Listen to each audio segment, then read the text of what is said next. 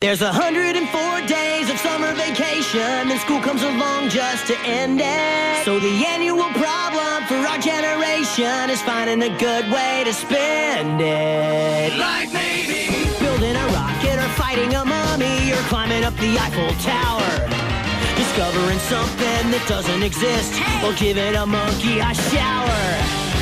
Surfing tidal waves, creating nanobots or locating Frankenstein's brain. Finding a dodo bird, painting a continent, or driving our sister insane. As you can see, there's a whole lot of stuff to do before school starts this fall. Come on, Perry. So stick with us, cause Phineas and Ferb are gonna do it all. So stick with us, cause Phineas and Ferb